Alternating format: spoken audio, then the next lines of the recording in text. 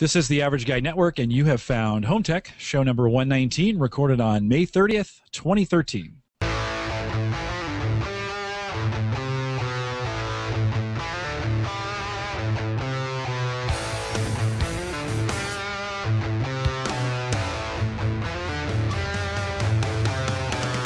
Here at Home Tech, we cover all your favorite tech gadgets that find their way into your home, news, reviews, and product updates, and conversation, all for the average tech guy.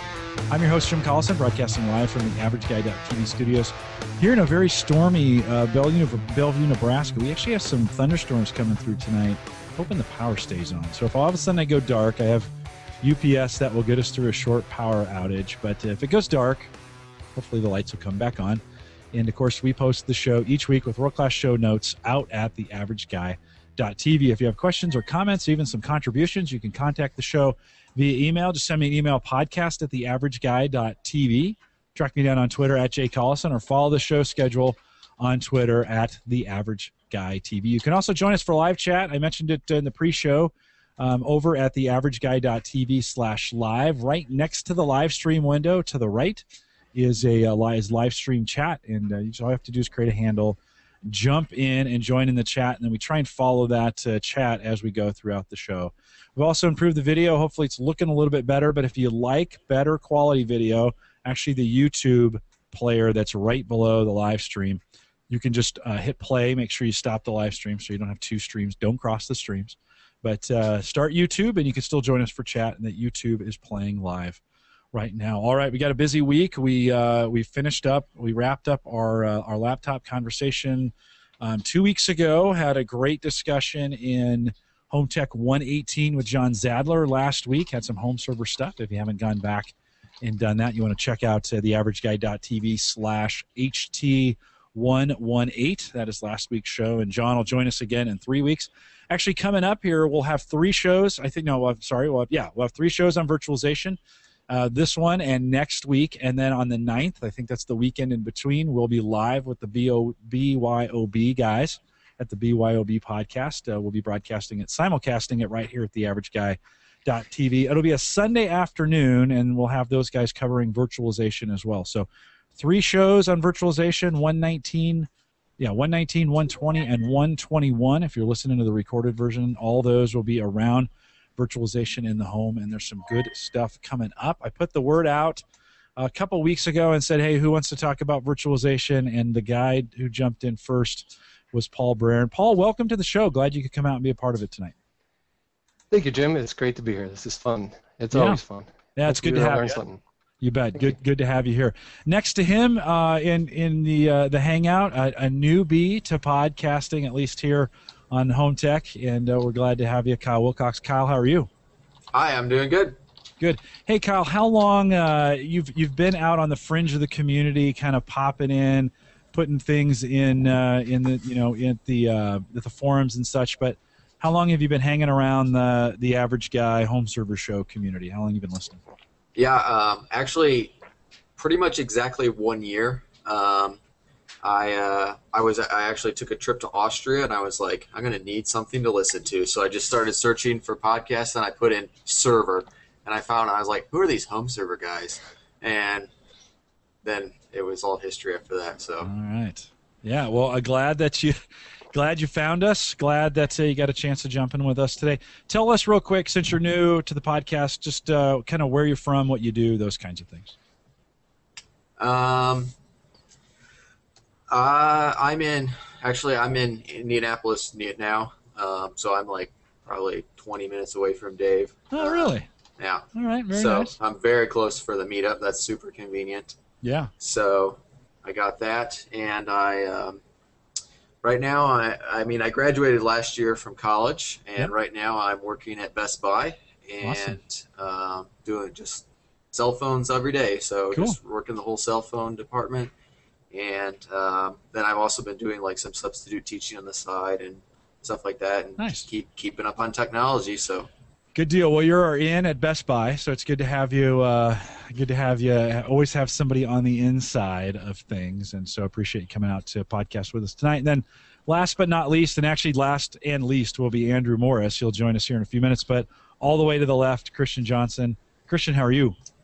I'm doing well. Um, I'm going to work hard this show to uh, defeat the false accusations that I got earlier that I vacantly stare the entire podcast and don't participate in the recent months. So apparently, apparently, I need to start pushing people out of their spotlight time and right, getting aggressive with content. So like it's on. It. It's yeah. on. That's um, right. On like Donkey Kong. Christian, you uh, you've done a new thing with Twitter. I mean, uh, what's going on with your tw- your Twitter account, and and why the new sudden surge in Twitter for you? Right. So um, uh, no one knows on the show, but Jim has been my secret mentor in all things social about Twitter because I've been pretty much a Twitter illiterate for the past oh year at least, and uh, finally wanted to start getting into it because I am I pop in and out of so many different communities and stuff, and I'm kind of have my hands in so many different projects that I kind of need a place to unify and feature some of the stuff I'm doing. So uh, it's really a effort to try and streamline and uh, put together um, my following and uh, hopefully put out some eventually it's it's a work in progress but uh, get uh, my content base together so that eventually I can start uh, producing and, and linking to some of my written content which is still in the works. Um, and eventually just try because you know originally I had a uh, another Twitter feed that I used for some of my other sites, and it just wasn't working out having the whole website feed versus personal feed, and uh, I'm really trying to go for getting my personal following set up. So uh, please, I'd be more than happy to hear from you at the WizBM, um, and of course, I will be doing my best, especially over the summer. Uh, I leave Saturday morning uh, to head back to uh, good old Hampton Roads and uh, work back at with uh, on center with NASA this summer. Um, so it'll be great to be back out of telework and back on the job. And uh, along with that comes a lot of uh, technical ideas, work, um, and meeting some other people. So I'll be posting some neat stuff, and uh, hopefully it'll be worth your while to follow. So yeah, absolutely. Go go out and get them followed. Just as a as some uh, as some show notes of some things coming forward there. Christian and I, I think it's um, June thirteenth. June thirteenth, we're going to get together with the guys from from Vigo and uh, have a discussion with them about the robot. So uh, Christian will have a chance to talk about that. We'll so we'll do the three VM shows and then we'll have Vigo on. So we got four great weeks coming up, and right behind that, John Zadler will be back with some more home server show uh, or home server talk, home server show talk too. And uh, so we got five good weeks coming up. You don't want to miss uh, Home Tech. Let's dig right in. Let's talk about virtualization. We uh, had some. I've been throwing this out over at the Facebook page. If you go to facebook.com/groups slash the average guy. By the way, the conversation's getting dynamite, and I appreciate everybody who's come out to be in that group. Lots of activity and lots of great conversation going on out there. And I kind of threw it out and said, "Hey, what do you guys want to talk about on Home Tech?" Because this topic format seems to be working really well. I'm getting a lot of good, positive feedback from you guys both during the show and after the show on it. And so, uh, one of the topics that came up, and I wish I could give credit to who that was. Kyle, was that you that uh, came up with the with the virtualization idea? Yeah, I think I threw that one in there, and so yeah. yeah. No, yeah, perfect. So, and I said, hey, that would be great because many of us uh, have been toying with the idea of virtualization at home the uh, uh, the you know it's getting easier and easier and easier to use virtualization, and not everybody is is as familiar with it. And so I thought uh, I'd throw that out, and the guys come in and talk about it. So we're going to do that this evening. Paul, let's start with you. And uh, and I know if anybody's listened over the last three series, you, you got us started with the home networking. Uh, I think you got us started with the laptop stuff. Uh, why would I not start with you from the VM stuff? Give us a little background on what you're using. Don't go too far back, but a little background on what you're doing, what you're using, those kinds of things, and kind of how you're approaching virtualization there in your environment at home. Uh, I think you're muted, Paul. Sorry. Well, I didn't want to get yelled at about the clacky keyboard, Jim. Already uh, coming out with uh, a swing. Gotta hit the, take the heat off of you, Chris. Yeah, that's uh, yeah. No, no. Those of you that know me uh, know I've talked about virtualization for a while, and publicly, actually, recently at a couple of VMware and uh, and a security user group. Uh, why would people at a security user group or various IT professionals like myself at these user groups listen to someone talking about virtualization at home, right? Uh, well, because a lot of them are trying to get themselves certified, keep their skills up to date, or even use it for practical reasons. So that's what uh, I really got into big in a big way about four years ago doing virtualization on my laptop, and then finally, finally building a custom server about two years ago and starting my website to blog about it uh, to make sure I would be highly motivated to succeed with that project.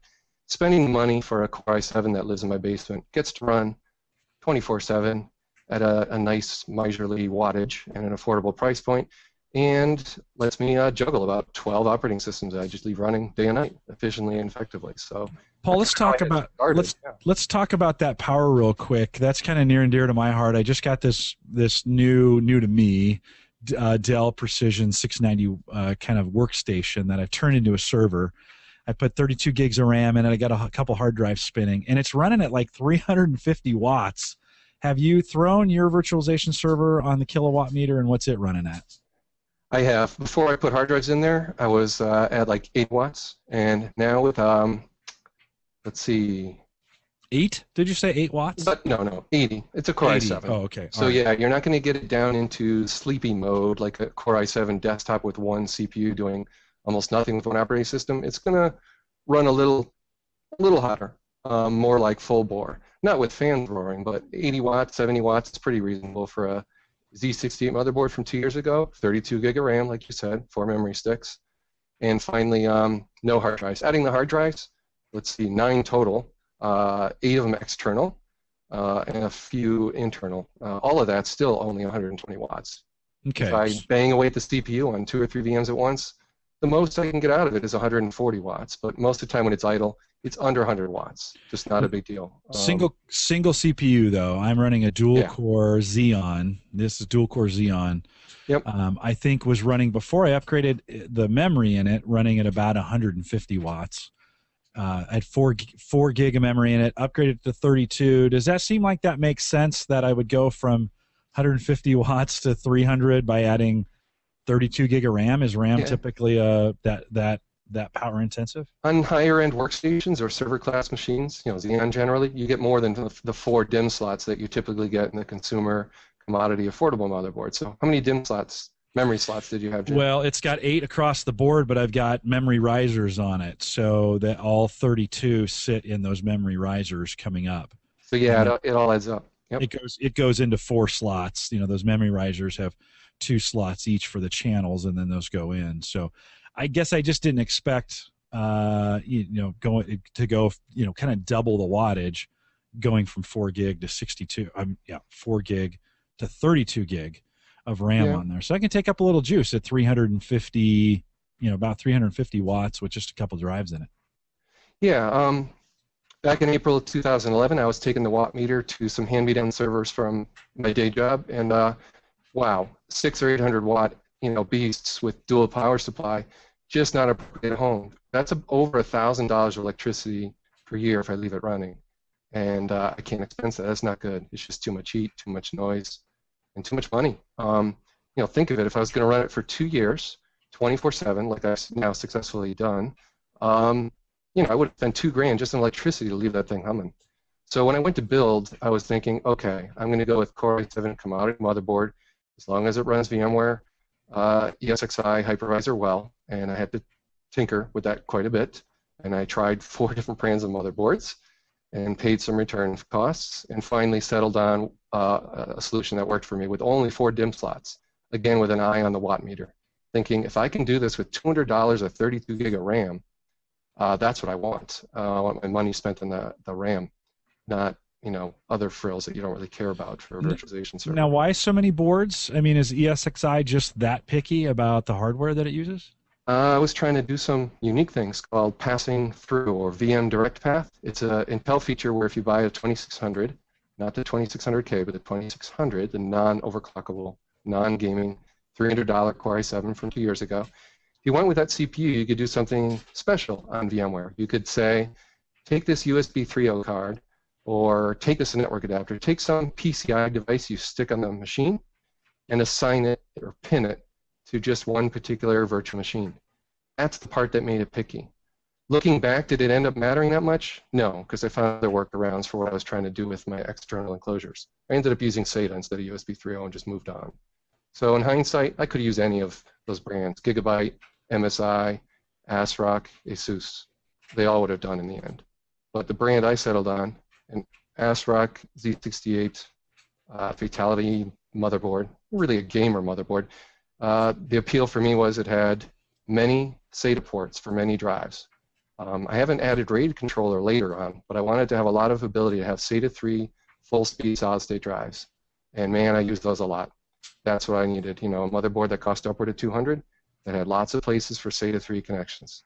So my shopping was focused on staying under 300 for the CPU, staying a little over 200 for the motherboard, saving some budget for that RAM, which is key for any virtualization project. If you're going to have 12 VMs running all the time, you need RAM.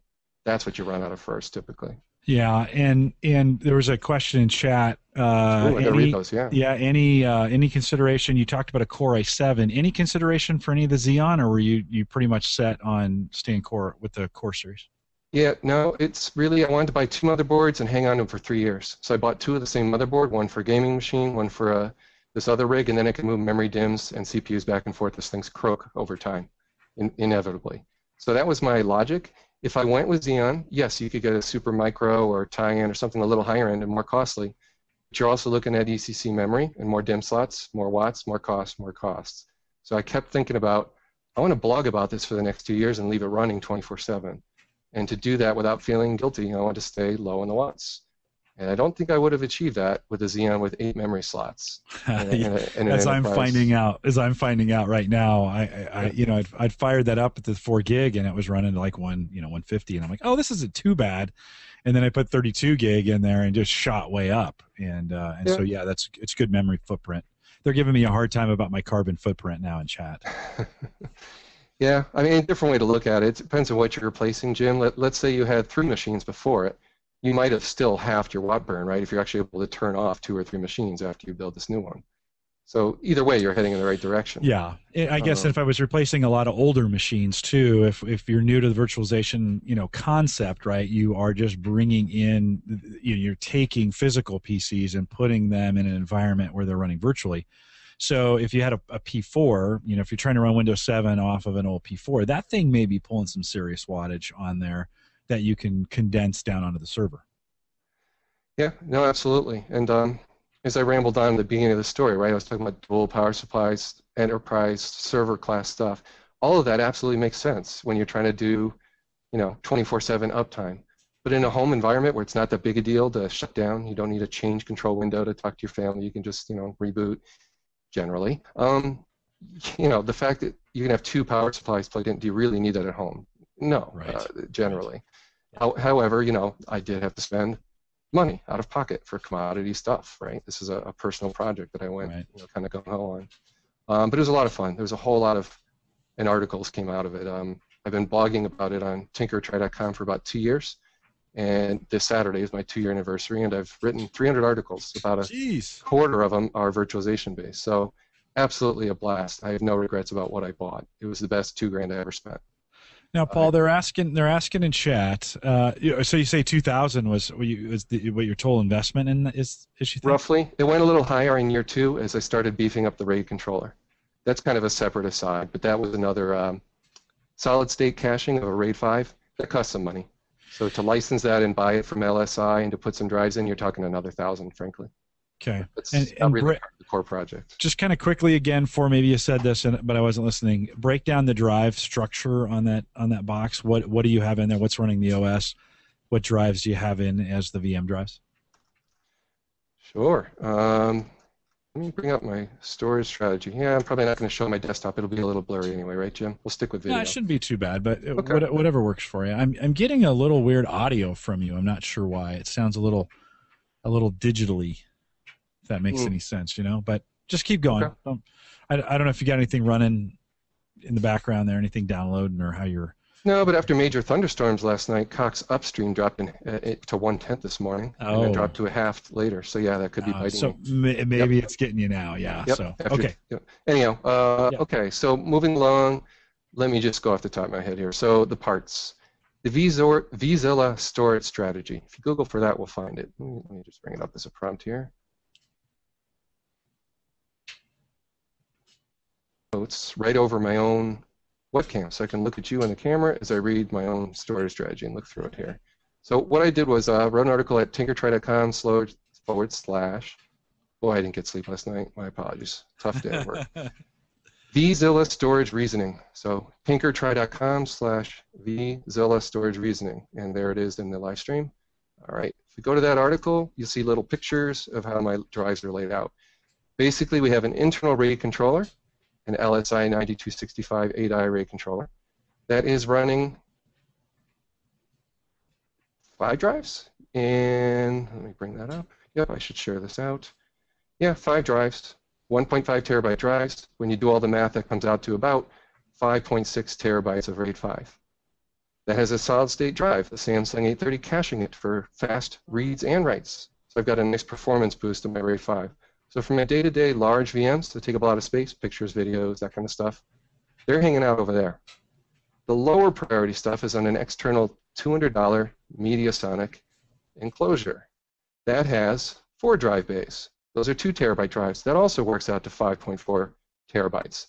That's just an eSATA commodity device, RAID 5, affordable, you know, $200 enclosure, four drives I already own stuffed in there, and it gave me a place to do my daily Windows Server 2012 Essentials backups Jim.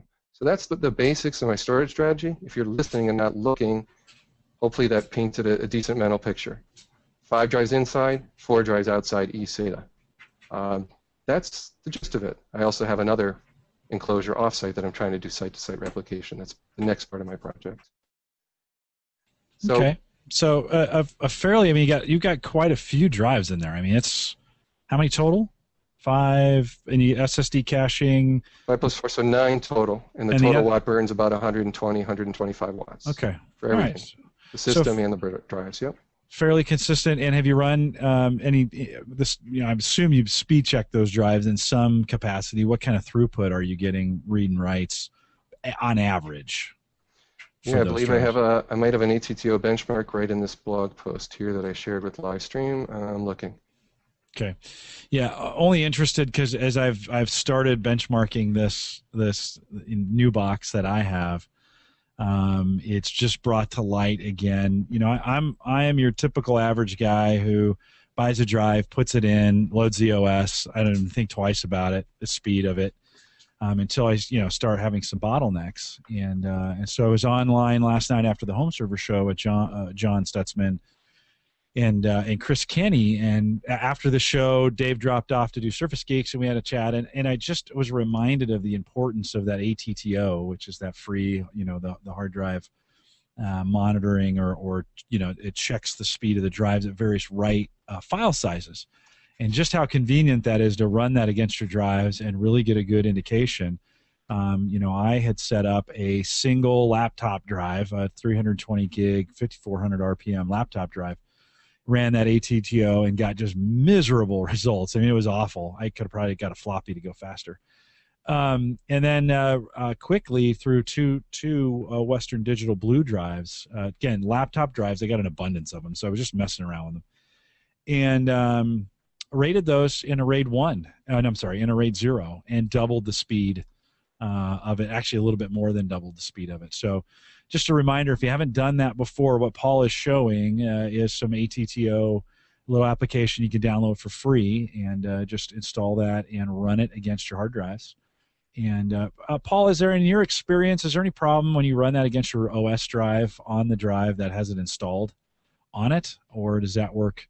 You know, I, you wouldn't think you'd have any problems running that against a drive that's not a, you know, that where the OS is not on it, running against a D drive or E or F or whatever you named it.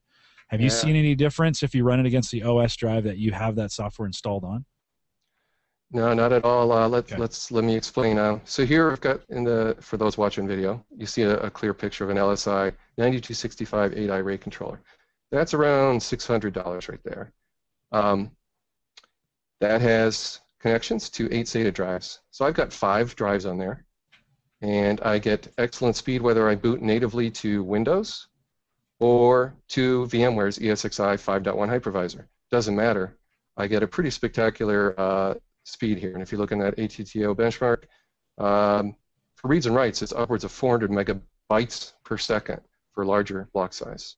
So that's pretty darn good for a RAID 5. And that's key. It's kind of like I built a SAN for under, well, under three grand if we look at the total price. So I have really fast local storage.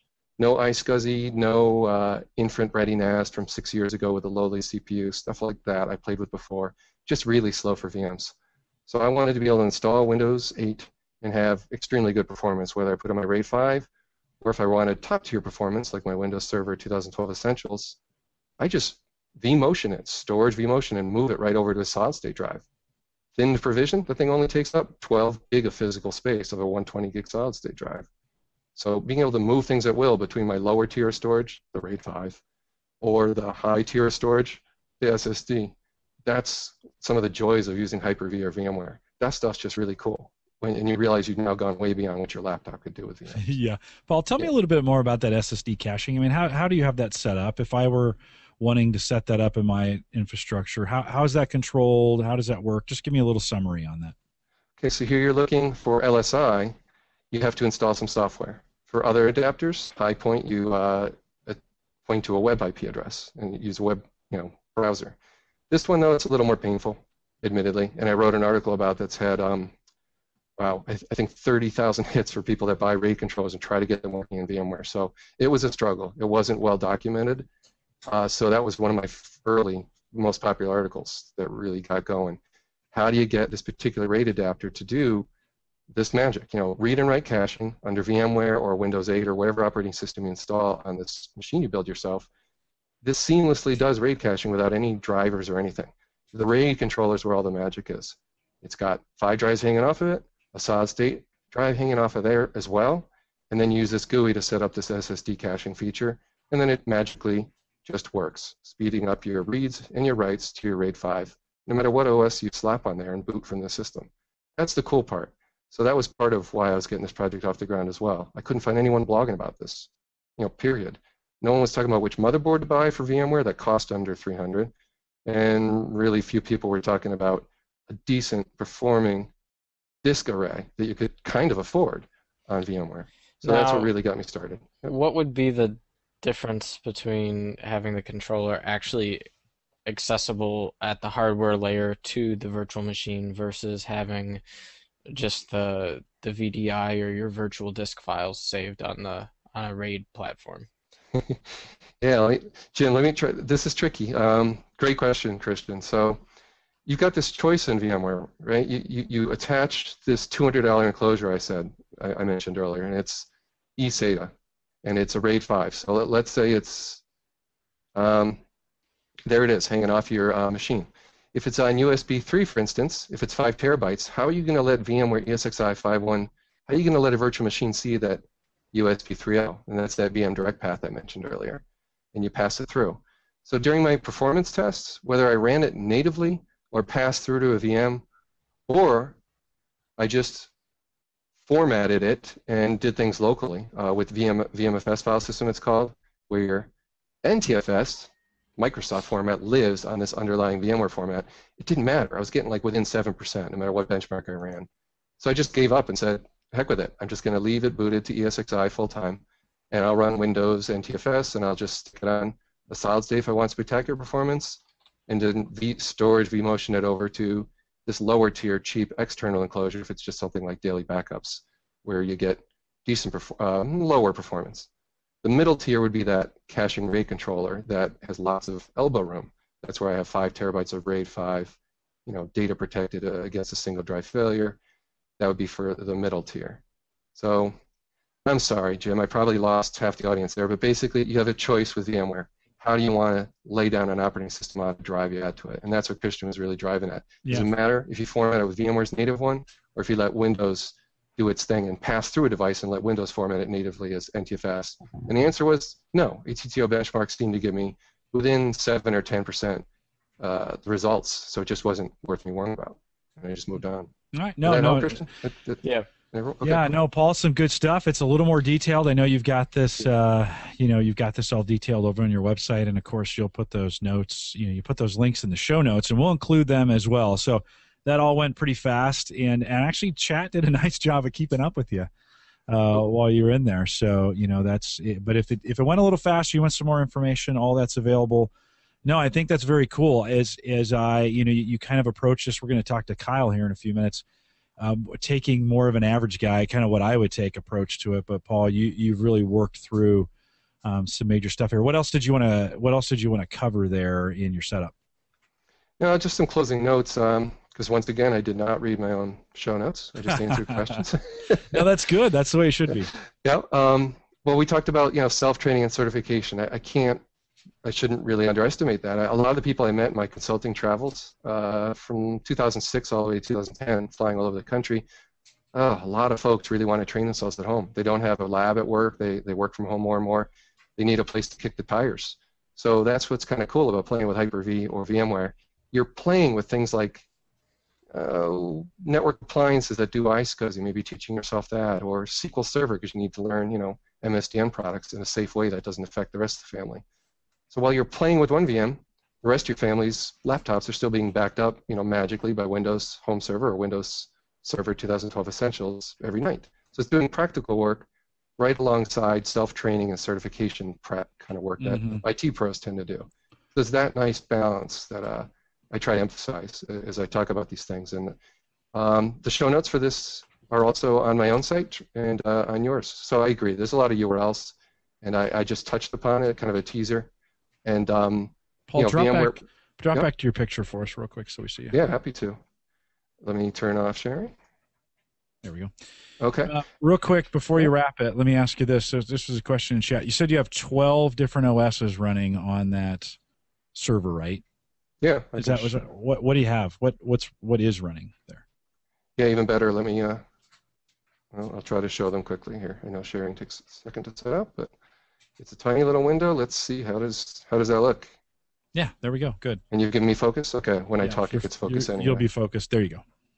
So today, uh, before this podcast, I actually only fired up six. So here's one that does Hamachi tunneling. You can see it's Windows 7 how much memory it's using. Only 0.62 of 2 gig I've given it. So yeah, right. I'm, I'm not juggling all that much of a workload right now. A handful of uh, old machines. Here's an old XP laptop that died eight years ago. It's living on as kind of a ghost of its former self as a VM version. So I basically uh, took a dead laptop, cloned its hard drive into a VM, and let it let it rip. And then finally, here's a Windows 7 instance uh, that one of my remote family members uses, kind of a personal cloud. And then finally, here's another VM that's Linux-based, and it takes care of shutting down the whole infrastructure when the power goes out, like last night's thunderstorm at uh, midnight that took everything down. It also beeps my phone as the power goes out. Little little stuff like that those are the kind of articles I like to write. Is how do you do that cheaply? Not a $500 battery, but how do you get a $100 battery to tell everything to shut down gracefully when you're not home? Yeah.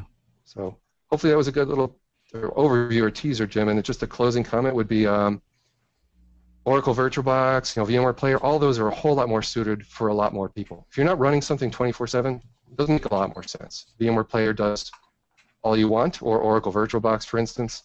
And VMware Player does more than just playback VMs. It, it creates them as well. You don't need the expensive VMware workstation these days much. You can do the free VMware Player. If you're kind of in the virtualization space where you use VMware Work, that might be the way to go. Uh, most other folks just want to tinker with virtualization. You know, Oracle VirtualBox, as others here are going to talk about soon, make well, more yeah. sense. I'm not and trying to sell you on ESXi, right? No, no. And, and let me ask you this: This is that's by far. Do you think is that the most complicated uh, of the virtualization options available to the average guy. Is that the most complicated one to use, in your opinion?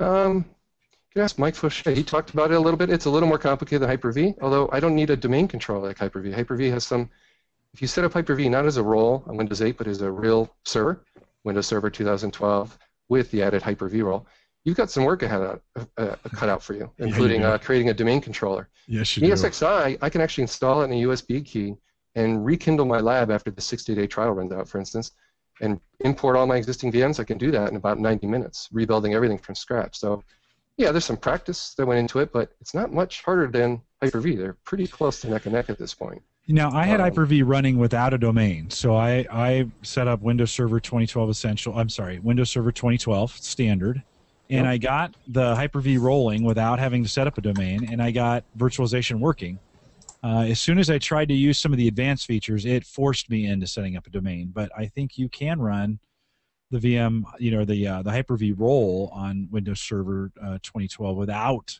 necessarily having to set up a domain first.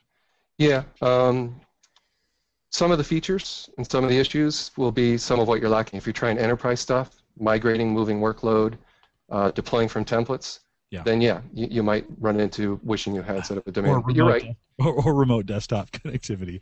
I should also mention, um, yep, yep. Uh, there's Linux and uh, KVM built in to a lot of Linux distros. That's what a, a lot of folks using um, my gear at work also use, a lot of customers. So I'll, I'll, close out with that too. There's another virtualization platform out there. If you use, uh, you know, kind of into Linux, it, it tends to have KVM networking uh, built in. So Xen server also, right? Exactly. Is there's, that one a little bit? Is that one even more tr- more difficult? Would you say, or I mean, it's enterprise grade like VMware, right? But is that correct? Have not used Xen server uh, anytime recently, so I couldn't speak to it. Um, what what I will say is all of them have gotten much better. Meaning, here we are in 2013. You can really run a lot of VMs on 32 gig of RAM on a commodity machine like the one I talked about building. You yeah. can easily run 15, 20, 25. What did John, John Stutzman ran? How many? Two dozen at the meetup in Indianapolis last year. Oh, if they're not right. doing that much, and you're the only system administrator in your house, it's not a big deal. You're doing one at a time generally. You're not cranking away, you know, rendering video on six of them all at once. So it really, that memory sharing, that transparent memory sharing, like 10 instances of Windows 8 don't use much more memory than one instance because of that transparent memory sharing feature that the enterprise class hypervisors have will blow the doors off of what you find on lowly VMware Play or Oracle VirtualBox, where you run out of memory quickly. If you got 4 gig of RAM in a laptop, you're not juggling a whole lot of OSs, as you know, Jim. So that's where it might be worth the effort to set something up.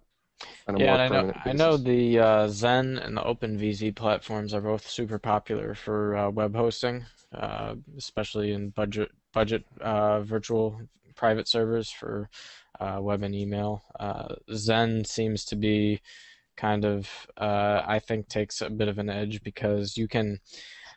The the whole debate was which one was faster for the longest time, and I think OpenVZ won the fast uh, the fast award at one point, but Xen won the reliability and stability. And really, with the improvements to the RAID uh, performance on many Xen uh, offerings that you can get on the internet now, really Xen is the way to go. Um, the one OpenVZ uh, instance I ever owned was terrible in comparison to the to the three Xen boxes that I've set up and pay for, and they're they're fantastic. Uh, so those are both common, at least for for Linux hosting. Yep. Um, also, uh, whatever plat- virtualization platform you pick. In my case, you know, a lot of my day job customers are using VMware, a huge majority of them, but Hyper-V is creeping up. So I'm setting up that in a lab for work as well, not just in my home, right? So it's good to get your hands dirty with different platforms and learn them. And I'll close on that note. You can run Hyper-V under ESXi. Why would you want to do that? Well, because one box can be left running 24/7 and have both environments available to an IT pro like me to kick the tires on, not have to power on or reboot or affect my family. I can run ESXi under Hyper-V. And, and uh, you know, again, that sounds cuckoo, but if you're just trying to teach yourself stuff and performance is not your thing, figuring that out was a lot of fun. And that was another popular post that I put in the uh, live stream as well. So who's the host in that situation? ESXi or Hyper-V? ESXi is. It doesn't go the other okay. way around. So you don't actually, okay. if you want to go Hyper-V and try to host ESXi, my understanding is that still doesn't work. Okay. If you want to run both all on one Core i7, your only choice right now is uh, running ESXi hypervisor left running, and then Hyper-V firing that up when you feel like playing with it. And VMs underneath that Microsoft Hyper-V environment can be vMotioned and you know moved around. You don't lose the magic. You, you can learn. Yeah, maybe I'll so, have to go. Maybe I'll have to go down a level in my my virtualization experiment here, and try ESXi as the base. Do you think you know the hardware a little bit about the hardware I'm running it on? Am I going to run into any hardware problems uh, with that? Do I, is there any kind of compatibility check that I need to run before I try to do something like that? There is a Dell, there's a VMware HCL hardware compatibility list. Uh, what's your model? Dell it's a six. Right? It's a 690 Dell Precision Workstation 690. So workstations they generally won't have. They do actually have a few Supermicro Tyan and ASUS motherboards listed. So they're showing up more and more commodity stuff in the hardware compatibility list. But for the most part, pretty much everything I talked about in this podcast, you're totally unsupported. I should say that. If you're not on the hardware list, you're not calling VMware, and on the Hyper-V side, you're not calling Microsoft necessarily unless you're uh, if you're MSDN, you get some free tickets per year. But I got to be careful with that, right? Jim, this could be tricky. I, I, you know, I'd be happy to help you, help you get going.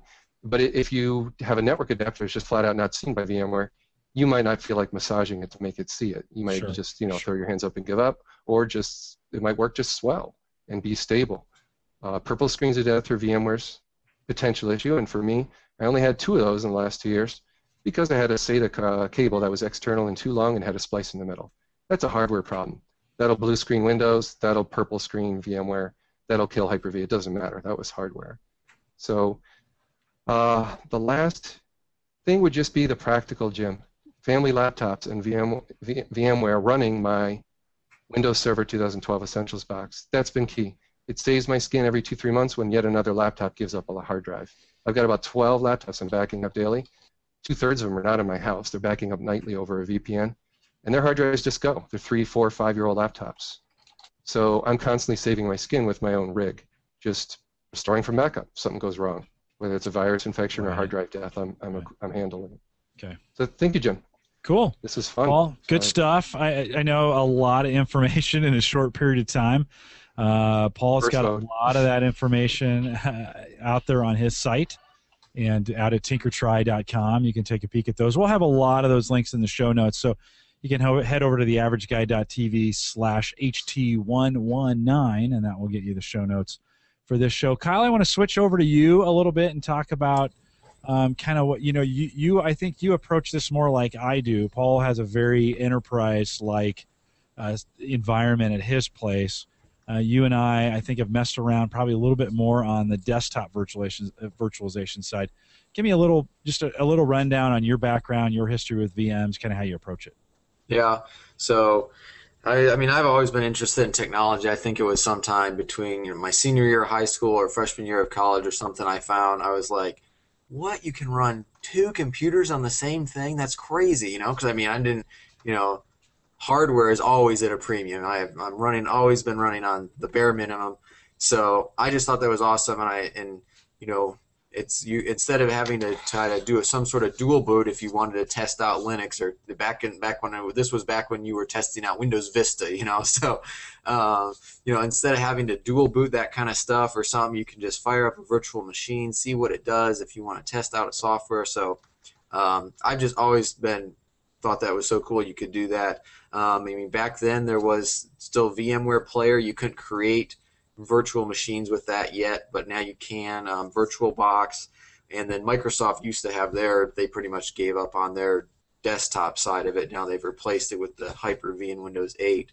Um, but yeah, um, right now I have. Uh, I, I mean, I have VMware Player and VirtualBox installed on my Windows 7 desktop. Um, I also I I boot I dual I do still do a dual boot. It's actually a uh, it's a dual boot to a virtual hard disk, which is different than a virtual machine, if that makes any sense. But it's a uh, so I, I dual boot into Windows Server 2008 R2, and I'm running Hyper-V there, um, and so um, yeah, and that's on my setup. I have I mean I have a bare minimum desktop computer um, with a H67 motherboard, Intel. Um, I have a, a G620 Pentium processor um, and a 320 gig hard drive and four gigabytes of RAM, and it still runs Hyper-V. You know, so now it doesn't run. I can run one, two, you know, a couple VMs at a time. It's not super fast, but it's still fun to play around with. Um, yeah, and most of my VMware. Sorry, Kyle. How much RAM did you say? Four gigs. That's it okay. right now. So yeah, I'd love. So... I'd lo- obviously I'd love to upgrade that, but if you need to get done on the cheap, I mean, I built this computer for three hundred dollars. So yeah, and how many VMs do you run? I mean, certainly with the four gig of RAM, do you find two or three, and three probably being the max you could run at yeah, any given time? Yeah, pretty much. Yeah. So, but yeah, and then um, for hard drive space, most of my um, most of my virtual hard disks reside on a, a USB three disk there. So, but yeah, I mean Um, It, USB. When you say USB, a, USB fla- a flash drive or an external drive? Um, this would be well, actually, um, yeah, you're bringing that up because I, I, I do both. So um, most of them are a USB 3.0 one terabyte disk that's just an external drive. Um, but one of the things that I also got into that I put in our notes here about the is uh, being able to use VMware Player. Uh, all this, all the computers at the college I was going to had VMware Player installed, and there's tons of things you if whatever you know if you wanted to use their computers it wouldn't let you install or whatever it you wanted so i i came up with putting the virtual hard disk on a 32 gigabyte usb flash drive and i could take that and plug that into any um, computer anywhere on campus and fire up and i'd have my own personal desktop right off of a 32 gig usb 3 flash drive um, so that's use that's using vmware player that's using any computer anywhere that has that sync your files with any of the cloud storage things so that's one of my favorite things i did there That's um, that's almost like uh, creating a like a Chromebook, right? In a lot of ways, you're you're piggybacking on somebody else's hardware, so to speak. You don't, ha- you know, you're not installing drivers to hardware or whatever. You're just piggybacking, and then you're saving everything to the cloud. Although you could save, would would it allow you to save files to that VM, and they would? they Oh would yeah, it's I mean it's a full it's a full VM. I mean I I would I, so I'm in you know I'm just I'm just you could just save locally or whatever, but I would have back back then it was Windows Live Mesh even before SkyDrive. So you know you you start working on a file there and then you unplug that VM and go home to your real computer or laptop or whatever and it syncs. And next time you plug that VM in, it's gonna file boot up and sync again with everything. So and I don't even remember what whatever, but anything anything you wanted to do on the on the school computers was pretty much locked down if you just wanted to test any kind of software or do anything. So that was the inspiration for that. And if I ever went over to somebody's house, they would just plug it in and away you go. Whatever, it's all right there. So um, that was pretty cool. Um, I like doing that. And then one at one point when I had I threw this in the show notes. I had just this terribly old computer. Um, I think I think it was like a Pentium D processor, and it had 512 mega RAM, Windows XP, um, and I was like, wonder what I can do with this, and so just power it up, and I put I don't even remember if I had VirtualBox, probably VirtualBox, and I just got Windows 7 running. Um, so that's 500 megabytes of RAM to run Windows XP as the host and Windows 7 inside. I mean, it's it's it's ridiculous. It there was there, I don't know if there was even a point to why I was doing that besides to see if I could, um, and it was probably slow, but I mean, it's it's possible. So that's uh. No, that's kind of just some of the different things I've done. Um, so I'm, I'm I'm definitely the complete opposite of just going with the absolute bare minimum as far as processing and all computer power. But yeah, Kyle, on your current on your current box that you're using, what's what's the CPU on that? The, it is the one the that's four gig. It's the Intel Pentium G620. It's a it's the Sandy Bridge um, version, right below the i3 Sandy Bridge. So, and I think some of the BYOB guys have messed around with that particular processor, and for for seventy five dollars for that and seventy five dollars for the motherboard, um, it's it's been fantastic. I mean, I I can't I, complain. I so think we just talked about that chip last night on the home server show in reference to and John Stutzman, if you're out there, I don't think he is, but I think we talked about that. That might be one of the rumored chips that's coming for the new microservers. I could be wrong there. oh, that would I- be yeah. I'd I mean, I think go it's back a, and look. Yeah, it's I mean it's for the price and and for and everything I did all during college and I mean I I think video encoding it slows down and I notice it's a little bit slowing down when I'm backing up but I've been super impressed with that processor for the money I spent and for and because now you know I know if I if I ever want to I can jump up to an i5 and just the motherboard and everything I've already purchased is good to go and I can take that processor and throw that into you know uh, any other little, you know, throw it into a pfSense or a, a home server or anything, you know, and it'll do just fine, you know. So I've been super impressed with that. Um, but yeah, You, you mentioned VirtualBox. Are are you using that now uh, for for any you know any type of application? um, I mean, partic- right recently I haven't I haven't done a ton of different things with either one. I mean, VirtualBox and VMware Player to me, I I, I kind of treat them as the same thing. I just I try them, I do one or the other, and go back and forth with no real. I don't me I haven't researched them enough to see a feature by feature comparison. I just upgraded both of them yesterday to the most recent version, and um, they're just kind of a different graphical interface to do a lot of the same stuff. I've kind of started leaning, I think, maybe a little bit towards the VMware player, just a little bit. Um, but yeah, it's it's definitely interesting. Um, yeah, I, I, just try them both and see what works for you. I would say, and I threw this in the notes too, and maybe Paul can comment on this. But I was just saying, you know, what if you just had a basic Windows 7 computer and, and you were thinking about running one, two, Windows 8, Windows 7, something, and you just wanted one, two VMs that were running 24 7, would you use VMware Player or, or um, uh, the uh, the virtual box to just run one or two things just for that, or or would you go to the investment to go to the next level? Well, I used to have something called VMware Server. You could easily make it auto start VMs. So you could just leave a workstation caliber machine and have it auto start, you know, two or three VMs and just leave it running.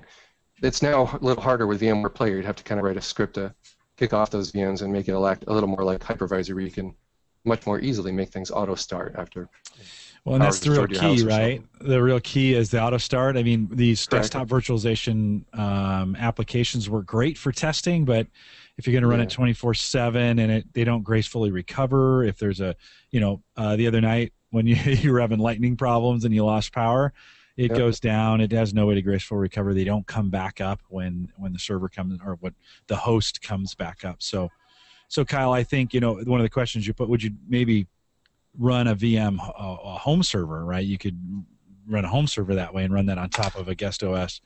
Yeah, I'm not sure you would necessarily. I mean, you'd have to. You'd have that problem of graceful recovery. Okay. Yeah.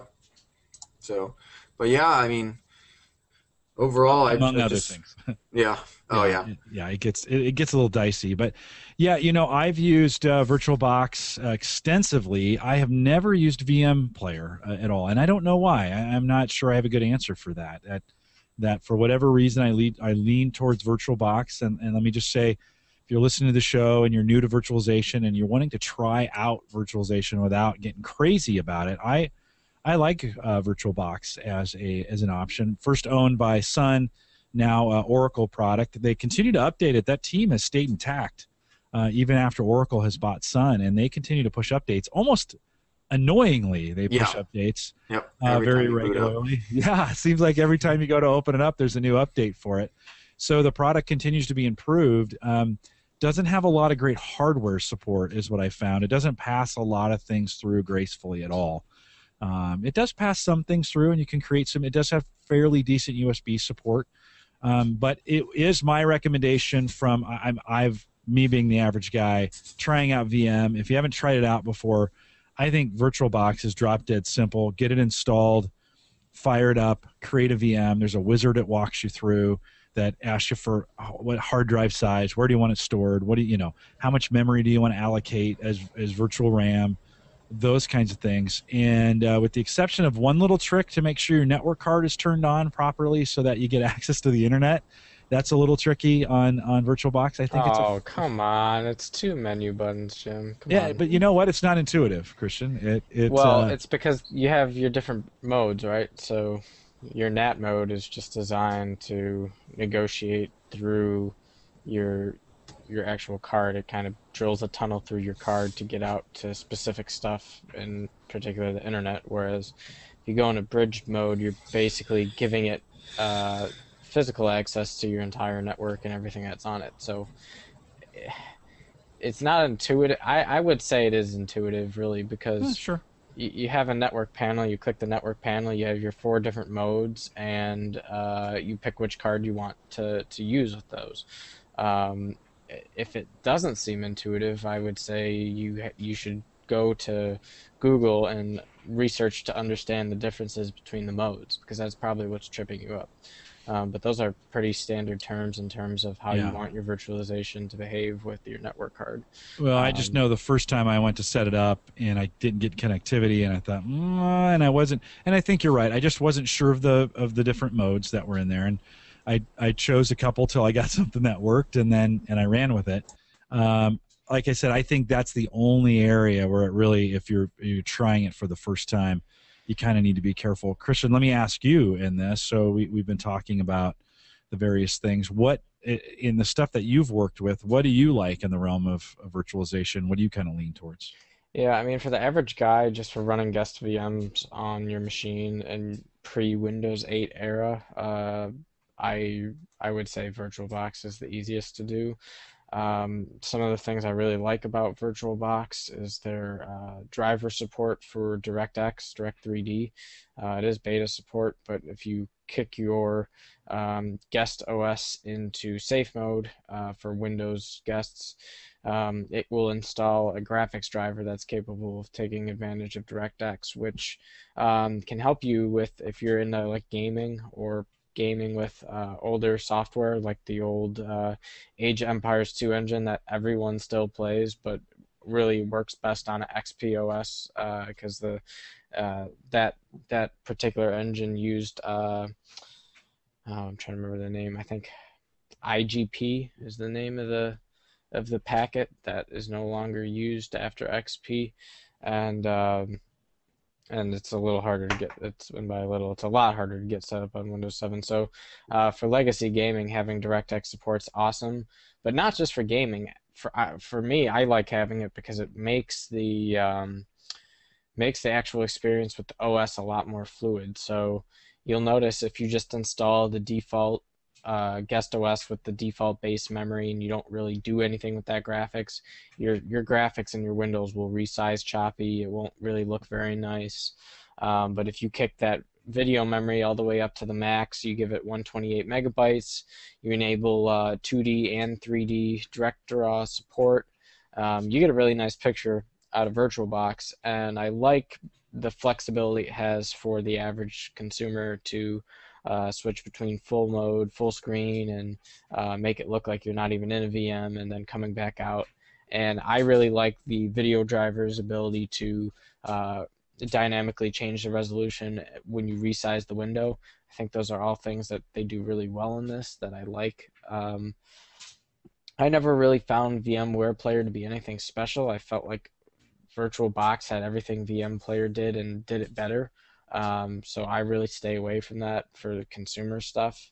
Um, but I mean, really, and and it's nice too because the um, the emulation in uh, VirtualBox is is pretty nice. It has your basic features. You can set execution caps so it's not killing your CPU. You can enable certain uh, chipset features and uh, API-C features, and um, you know there there's nice there's nice stuff where it's it's not overkill, but it still gives you some control over uh, how you want things to run. So I like this for the average consumer.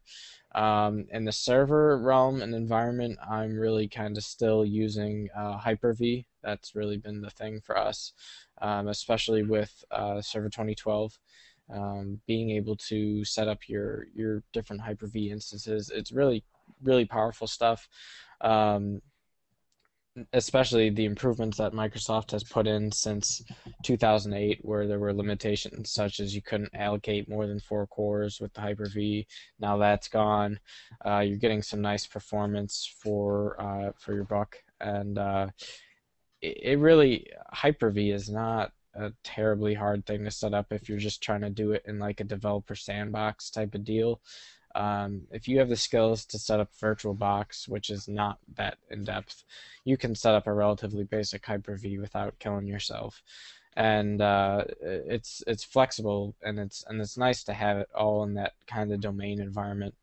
And I someday one of these shows I, I really need to find a way to reach out to the average guy and convincing them that joining a domain network is not the end of their, their life. That's the next show, Christian. That's the next series you and I are going to do. Is we're going to talk about domains. That's Yeah, You've because- picked it because you're right. In our community, is every time we go to a, a domain, it's a watershed moment. It's either Yeah. you hate it, you love it, or you hate it. And it's like, really, guys? It's like the equivalent of saying that you know let's let's stay away from uh, CD-ROMs because we've all had our floppy drives for so many years. It's that same kind of um, jump into the next technology phobia, right? Um, really, really, you can make domain networks as simple or as hard as you want it, and there is so much to configure. You can go as far out into the enterprise corporate space as you want with it. That's the nice part about it is that you can mold it and build with it and actually kind of learn some of this stuff you wouldn't otherwise by having it. But if you don't want to get into that and you just want the simple, you know, security domain, all my PCs can see each other, yay, file sharing, fine. It still has all of that and you can do that relatively easy.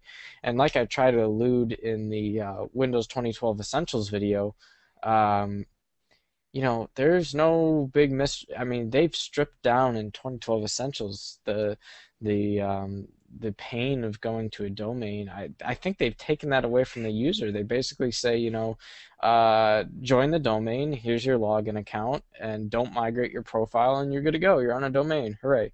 You don't even have to start a DHCP or a DNS server on it. You can leave that all at the router uh, really domains are not as scary as people make it out. And I, I actually wonder what it is that makes people get so about domains. And I wonder if it's because they've never named a work group with a dot .com or a .local, and they just go, "Oh my gosh, it's a, it's a website, it's a domain, it's I gotta hook it up to the internet now. Where's my modem?" No, no, no, no, no. It's it's it's much simpler than that, and I really think it could be spun we got to put some kind of guide together yeah, where we yeah. spin um, setting up domains for the average developer sandbox uh, guide. Because I mean, obviously, it would be a completely different story if I was trying to teach you the enterprise security domain set up for a, a government agency. But that's not what we're doing here. So um, you can get security and performance and happiness all in one package without uh, without crying at night and, and having restless nights. And, and, uh, and remember, if you disagree with Christian, it's Christian at theaverageguy.tv. if you if you no, I Christian, I totally agree with you. The that there is uh, there's a scariness uh, around that, and, and I think so so good. We'll we'll uh, put that on the back burner as a future discussion for domains. We will we'll bypass it for now at this point, um, and, and, we'll come back around to that here in the next three, four, five weeks, and and maybe do a series or two on domains. Paul, you want to kick that off for us when we do the domain series? You want to talk about your domain? Or, or lack thereof. Shoot. You yeah. know, okay, you have to. No, no, I, have I've used them at the work world, but yeah, yeah okay. I just don't need them, and uh, I don't intend to train. You know, dad or, or wife or anyone yeah. else on yeah. being anything other than work group. That's, that's all it boils down to. All I care about is backup for them. I don't maintain or, or administer them. Yeah. So they just have local logins. They're not even in my home, those machines. So right. no big deal. I, I could yeah. go either way, and I've used them at work. It just doesn't suit me. So so I just do a domain-free install of Windows servers. Sure, sure. And we'll have to come back around to that. Kyle, I kind of went over to Christian, but but anything else that you wanted to, you wanted to say on your virtualization section? Uh, you're muted, yep, Kyle. Yep. There, there we go. Um, just well, just I just had one other thing, or maybe a couple other things. Was the uh, the VMware player and comes with the VMware converter tool, which uh, and I think um, Paul had this too, but it's just it's just perfect for having an old computer and that old XP computer that I had when I got the upgrade. I just took that and virtualized it and pointed the thing at. Uh, I don't even you just point the software at it. Thing that's fine. Just, a technical term. Yeah, it just thing. it just does it. It really just does it all on its own. There's nothing really to it. So it just copy. It just takes literally an entire picture of that computer, and then you can anytime if you ever think, oh man, I think I missed something in my data transfer, you can just go back and fire it up. Now I think. Um, I think I just realized that that was one of the things I lost when my hard drive died. So I can't fire up that old XP anymore myself. But I, I did fire it up several times um, before I lost it. Um, and, and, it was perfect. You just fire it up and say, what did I have installed or what was that program or whatever. And so that is just great to be able to make a backup like that um, and have that. Now, obviously, that was a smaller computer. It was only like a 30 gig hard drive. So, um, and there's there's tons of other things you can do with virtualization. Um, there's a more of an enterprise type thing with the Xen client um, has started coming out thing that's more designed for having a laptop so you can run like a work and personal. And I I tried to install that once, and uh, that's interesting. And um, VMware Workstation is really powerful too. Um, and if you just if you don't want to build a whole server and you just want to do the some of that like what um, Paul was talking about the nested type stuff, um, you can do that in VMware Workstation with just right from the desktop. Um, there's a guy at Virtualized Geek um, on Twitter at virtualizedgeek.com, and he's done a ton of stuff and just kind of always talks about that. So I don't, I haven't actually VMware Workstation is what 100, 200, 300 dollars something. So I haven't spent the money for sure. But if you know if you ever do want to do where you could have a virtualization lab essentially without building everything that Paul did, you can do a lot of that kind of stuff right there if you just want to pay for the software. So. Yeah, Kyle, good points. Like you know, snapshotting and rolling back a VM when you want to play with software. If it goes horribly wrong, you can roll back 10 minutes. That's the kind of cool stuff VMware Workstation can do. You certainly don't need a Hyper-V or, or ESXi server for that kind of fun stuff. It's amazing what you can do for developing yeah. or testing software. Yeah, and he uh, te- he puts. I mean, he he runs ESXi in VMware Workstation, which is just crazy that we've gotten to that level of support for. Um, yeah. So for doing that, so and laptops can start to handle eight or even yeah, 16 he, gig of RAM. That makes all the difference. Yep, and he yeah. that's what some of the things he he talked. This other guy talks about. Not to you know go off on a tangent with him, but just I don't even know. I just found him on Twitter one time, and he has a laptop that he has a virtualization lab, and he does a lot of the training stuff that you're talking about. That's one of the main reasons he uses it. So um, yep. it's just amazing what you can do with with the software now that you can actually virtualize virtualization. And, and yeah. he's at virtualizedgeek.com, right? Yep. And uh, follow him Twitter, virtualizedgeek, just on Twitter. In Jim, late 2008, 2009, Vista days, beta, 64-bit, the first client operating system you could do 64-bit reasonably that ran VMware Workstation quite well, and you could finally get to 8 or 16 gig of RAM that I flew around and, and did customer trainings on with multiple copies of Linux running along Windows. It was the only way to do it. A laptop with lots of RAM and a 64-bit OS that went beyond that 3 gig memory boundary. So yeah, things have gotten much better in the last five years. Doing cool. a lot with yeah, I well, it's I think with uh, with the hardware, we've gotten to the point now where it's fairly affordable. I mean, that's what you're saying, Paul, is yeah. that you can build this monster rig under 3000 bucks. And uh, you know there were days when you couldn't get a pc for 3000 bucks. So it's it's the price points have just dropped to where the average guy you know when we kicked the show off paul as you were going through your segment rich o'neill pinged me on skype and he goes and this is the average guy podcast? And uh, and you know the, the point is that I think we are getting to the point where the average guy, and let's just say the average tech guy, I say that in the opening of the show, you know, that we're really a show here at Home Tech for the average tech guy. And uh, and I, consider myself to be the average tech guy. I mean, you guys are definitely above average from from that standpoint. But I, the point is, is that if I can do it, and I'm doing that right now. I've got this this workstation that I'm working on, and I'm I've been messing around. In fact, I actually just burned a, a copy of uh, Windows Server 2012 trial version because I didn't want to burn up my activations, uh, my MSDN uh, or TechNet activations for server, because I wanted to install this thing over and over and over again to try different scenarios with they it. Don't and now the activations. Now, well, okay, Christian, and then uh, the, uh, the on server side they don't. No. Oh. They're they're generic uh, activations. As long as you don't go activating them in Russia, you're fine. Oh, oh well, there you go. So, but that's how I was going to get around it, and I thought that was a creative solution. Maybe not. Good work. But Good work. yeah. Well, yeah, you know. Well, so. I mean, you could always. I mean, I guess it's not. It's not a terrible thing to just keep using trial versions because you can still pop your TechNet key in when you're deciding to go off a trial. So yeah, well, and trial doesn't require the the the, the uh, activation key at all, so you don't even have to spend that you know that step of putting the activation key in. It just yeah. rolls through. And I, in a test environment, I plan to blow that away every you know couple three weeks anyway, uh, just as I learn about it. So I think if I can do it, you can do it too. If you haven't if, if you haven't tried that you might want to follow along on the podcast with us and and uh, maybe if you can get a piece of hardware that you can get some of this stuff on anything from what paul's doing with some heavy virtualization you know running some raid and getting a getting your storage right and maybe some ssd caching or just even using an ssd as the os drive to speed it up too uh, as Kyle is saying here. Kyle's got some older or some slower uh, hardware uh, that uh, he's running VM stuff on as well, and it works in that environment as well. You don't have to have super, you know, a lot of equipment or a lot of hard drives or even a lot of storage space to get VM working for you. You can give that a shot as well. Christian, you want to add anything else to that conversation? Um, no, not in particular. I think that's a pretty good. You're wrap. done. Okay, good. Yeah. Well, I want to I want to move on to a new segment we're adding in, and guys, I want you to chime in on this. Uh, the new segment is uh, from the Facebook group. I guess we'll just call it from the Facebook group. So, a bunch of you guys have jumped in over the last couple of weeks. Of course, you know we've been offering. We got a contest going. If you join the Facebook group and we grow that thing to 250 members, it is a closed group. You have to ask for permission to get in. But if you go to facebook.com/groups slash uh, the average guy and it's actually been blowing up during the show here live you guys have been don't don't tweet uh, don't go out on facebook. Listen to the show. But anyways um, uh, guys have been posting out there. If you want to post a question to get it into the podcast we'll read it right from facebook and get it in.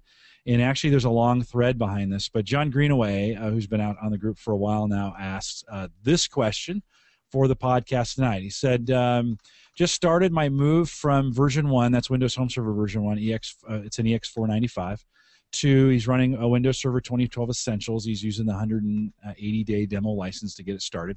Running on an n54l we've talked a lot about those over at the homeservershow.com in fact all of last night's episode was talking about the performance difference between the n36 n50 or n40 and n54l homeservershow.com if you want to check that out from last night.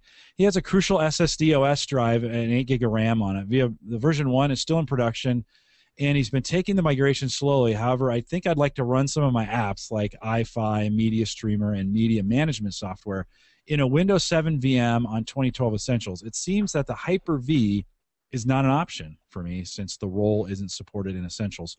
What's my next best alternative? And is it VirtualBox? So, Paul, let me throw that over to you. I'll just kind of go around the horn here. If he's the Hyper-V role is not available in 2012 Essentials, Paul, what are your suggestions? Well, in my case, I, I flipped it around, so uh, I can run. Well, I happen to have VMware running, which allows me to run Windows Server 2012 Essentials just fine as a backup server, and then I have Hyper-V running alongside it as a, a virtual machine, you know, next to Windows Server 2012 Essentials not an ideal solution for everyone because again licensing and setup and configuration concerns right, so right. i suspect uh, most people would just want to use maybe msdn or technet and just go with windows server 2012 with the hyper-v role the, the real thing. And yeah, standard just, would work for you just fine. correct. Want, and then that route. and then run windows server 2012 essentials as a vm under that hyper-v. Okay. So that's probably a more typical rig than the goofiness i'm doing. Okay, so may, that's maybe more an advanced uh, option with with um, it, assuming you have a TechNet or you're going to go buy the licensing, which could get a little expensive for somebody if Oh, they yeah. wanted to buy all those those pieces. Um, so Kyle, uh, from you, you I, we're going to throw this situation at you. You you might be in that right now. You you don't have access to those things. What's your what's your best option for a Windows 7 VM running on something that does not support Hyper-V? In your opinion? So, so to run a Windows 7 VM or to run Yep. Server 2012 Essentials? No, to run a Windows 7 VM in an environment that does not support a Hyper-V role.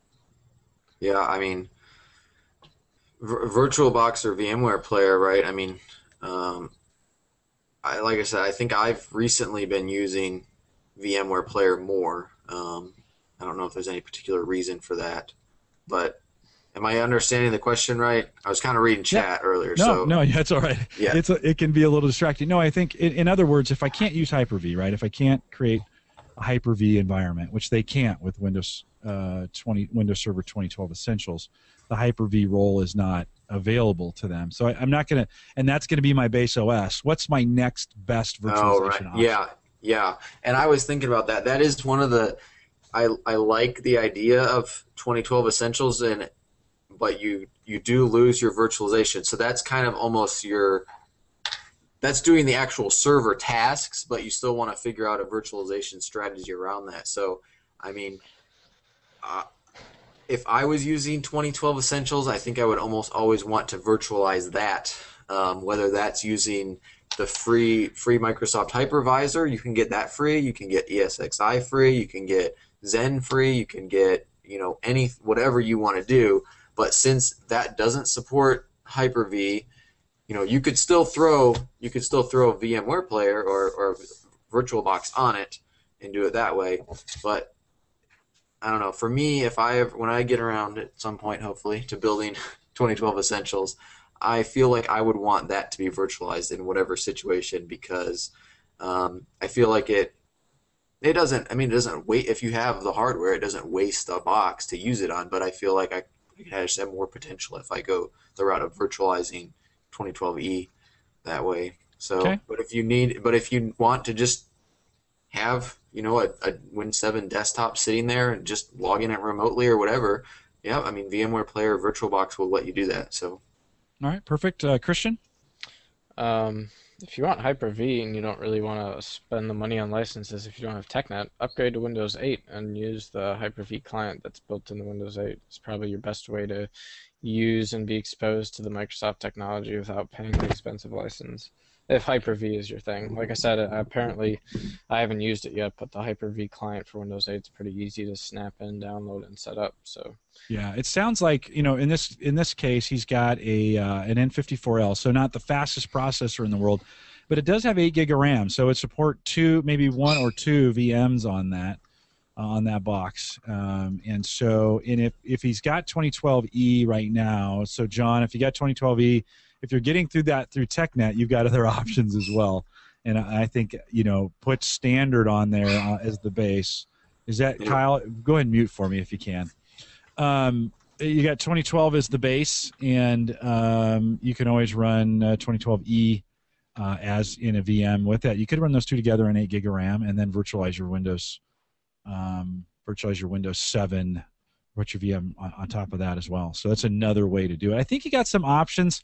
Just depends on licensing and what you want to pay for and and uh, some of those things. So that's again that's a question out on the Facebook page, facebook.com slash group slash the average guy. That discussion's not over. Actually, it's got quite a long thread, and some of the guys kicked in here just a few minutes ago and put some answers to it. So John, thanks for uh, jumping out there and asking a question for the show. One more before we kind of go into wrap mode. Gordon Schmidt, who's a good friend and been on the podcast a bunch over the last couple years, asked this for it. He says, "So, um, thoughts on Hyper-V CPU power management issue? Anyone having issues with USB 3 uh, drivers and Hyper-V?" So, Paul, let me throw this over to you. You've probably got when we talk about a troubleshooting standpoint, any issues? Uh, anyone having issues with USB 3.0 drivers and Hyper-V? Uh, well, last time I was working with Hyper-V before the 3.0 recent release, it's still just not there for um, any kind of USB 3.0 support. Whereas VMware, that was one of my shopping concerns, where you at least can pass through uh, USB 3 support to VMs. So back when I was doing all the shopping two and a half years ago, that was my option. I believe that's still kind of true today. You don't really get uh, native support on Hyper-V to just have a you know USB 3 key attached to a VM and have it work fast. Okay. Uh, in, in VMware, you, you kind of do, and I have an article about that. There's some limitations. It's kind of a kind of like a remote USB over IP, where your client workstation uh, has USB 3 and it's passed through to a remote virtual machine. Kind of not what you really expect, but I guess that way you don't have to walk over to the server and plug in your USB 3.0 device. So it's getting there. Uh, maybe in a year or two that'll totally change and have full whole hog USB 3 support natively in both hypervisors. Okay, Christian or, or Kyle, any thoughts on that? Yeah, I mean, because I have, like I said, I dual boot into Server 2008 R2, so that's the full, and that's the full Windows operating system, and then Hyper-V is running on top of that. So in Server 2008 R2 itself, I just install the USB drivers. Now that, so if I have a, a virtual hard disk sitting on a USB 3 device, it'll the, the host will see that as USB 3. It can do that, but it's not going to, if I want to plug a USB 3 into the virtual machine, that's not going to, where it's not going to be seen for me. So I got the drivers installed so the host can take advantage of it, but it's not going to go up to the virtual level, which for me is, is fine. I just need, I just need to, the host to read those files on a, either a USB key or an external USB 3 drive at USB 3s, and that's it. That's all I need. So. Okay. Okay. Christian, any thoughts? Uh, yeah. I mean, I haven't really needed to have USB, USB 3, or any of that kind of stuff running in my Hyper-Vs because I'm mostly just transferring files directly between networks. I can't really imagine any other reason you would want USB 3 capability unless you were doing your eSATA hard drives and whatnot. So, uh, with your docks and all. But I, one of the things I like to do is um, set up shares on like if I'm using VirtualBox, where you set up network shares that the guest sees as network shares, but they re- in reality go to physical locations on your own hard disk, and that makes file transfers easy between the host and the guest. But I, I don't really use USB 3.0 docking on my setup because I'm a pretty um, headless guy with uh, my desktop configuration. So, okay. Good stuff. Again, uh, you can catch Gordon. He's over at mykneejerkreaction.com. He actually posted that out to his blog and has got some info around that as well. And that question's posted out at the average guy dot or at the uh, the average guy Facebook group. So I dropped that in chat as well if you want to take a peek and uh, see what we're talking about over there. Again, uh, we're doing this contest. When we get to 250, we're giving away 100 Amazon bucks to to uh, one lucky winner that's in there. So head over there uh, maybe this weekend when you're listening to the podcast and uh, and get signed up. and join the conversation. Really good conversation. I'm really enjoying. You know, there's not a lot I enjoy about Facebook anymore. Uh, I really enjoy the the average guy group that we got going on out there, and uh, you guys got some really good stuff happening. And so I appreciate you coming in and joining. All right, let me do and say hi to Gary there. Christian. He seems to be making his updates now via the coming in the back door. Hey Gary, how you doing? uh, a couple things I wanted to chat about real quick. Uh, just some updates uh, for you guys out there who listen and who follow me and what I do. Um, if you listen to Home Server Show, you know on my birthday this last weekend, my geeky family bought me a Drobo 5N. And if you don't know what that is, just head out to drobo.com. And you got to know, if you know me, you got to know what a Drobo is. I just talk about them all the time. In fact, so much so that Christian pinged me yesterday and said, "What is it with you and Drobo? What do you like about them so much?" And uh, I, I, do like what they do in their boxes, but um, the 5N, I've been working on that. It's uh, the 5N comes with some Plex support as well as some an app for Copy.com. And uh, we actually, uh, uh, both John Stutzman and Chris uh, Kenny last night talked me into running some ATTO tests against the Drobo, both the FS, the new 5N, and then the 5N also has a support for an M-SATA card, and uh, this just came in the mail today. This is a 64 gig Crucial uh, M-SATA card. It was uh, $82 on Amazon, and not terribly expensive for that. 64 gig, basically SSD caching for the for the Drobo device, so the file goes onto the SSD first off the network, and then it's uh, smart enough to be able to move that file onto the spinning drives into the Beyond RAID uh, portion of the drives for storage, and so you get uh, you get really you get much faster file transfers than the old uh, FSs, and uh, and get a little better speed off the new 5N. So I'm kind of excited about it. I got them both set up side by side here, just on the other side of the monitors, and uh, appreciate my family chipping in some dollars.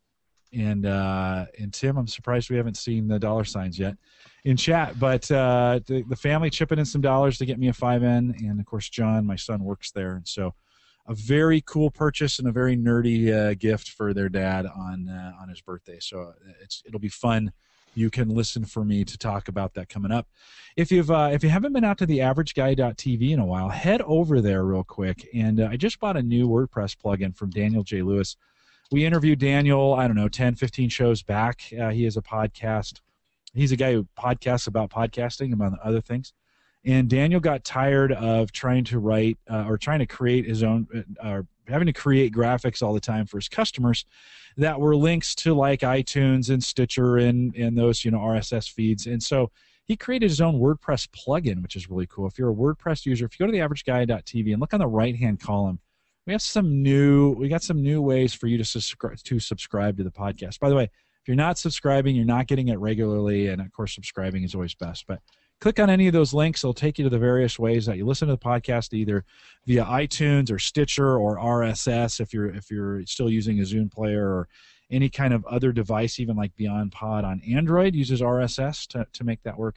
You can go out there and get the podcast subscribed in just about any way that you listen to it.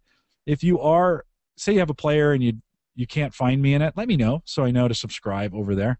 Um, we're just about everywhere now. So um, go out and take a peek at those. Give me your feedback. Daniel did a nice job. That is a that that plugin is in 106 version 1.0.6. I think maybe seven now.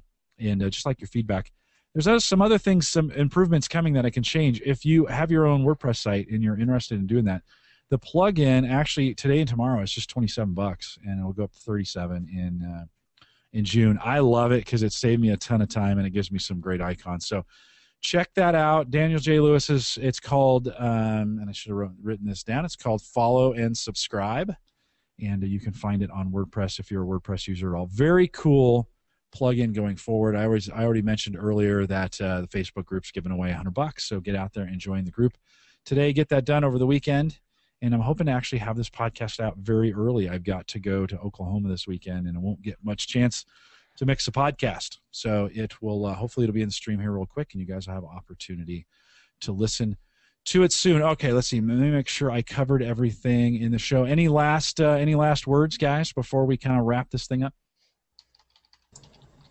Meetup. Yeah. Oh, yeah. Kyle, thanks. Thanks for for bringing that in. There is a meetup coming up September 21st in Indianapolis, Indiana. If you're anywhere between Omaha and Indy, let me know. I might even pick you up and take you in. Uh, we'll be making the 10 uh, hour trek across the country to get to Indy. September 21st, it's actually a home server show, surfacegeeks.net, averageguy.tv kind of combo meetup. Um, Kyle, you were there last year. We had 30 some guys there. We already have about 30 registered for this meetup, and so we're a third of the way to our 90 person cap. And uh, if you want to be there, get get over to homeservershow.com, and there is a link across the top of that site that you can get signed up for the meetup. Love to have you there. If you're anywhere within, we say 10 hours of driving, it's pretty much mandatory that you're there. Uh, no excuse because I'm coming. You should be going too. And uh, and even Mike Howard has said, let's put the pressure on Mike Howard here. Even Mike Howard, JPEG to Raw, Mike Howard, host, regular host here and host of JPEG to Raw. Um, he said he may drive up from Atlanta. It's an eight-hour drive for him. So I think it's going to be, uh, to use an '80s word, I think it's going to be epic. So you're going to want to be there, and uh, it's going to be a good time had by all. And uh, just the 21st, we'll have a good time. We'll come together on Friday night and then geek out all day Saturday, and um, it will be it'll be a good time. So if you want to do that again, homeservershow.com. Look for the link up there, Kyle. Thanks for bringing that in. All right. Well, with the silence there a second ago, we will call it a night. And uh, Christian, thanks again for coming out. A good, uh, safe travels for you as you make your way down. It's down, right? Yeah, make your way down, down. to Langley for, uh, and that's right, right? Langley for uh, for your summer job at a small company called NASA. And uh, we're looking forward to following you as you do that. So the next podcast we have for you, you'll be uh, you'll be down there, right? Indeed.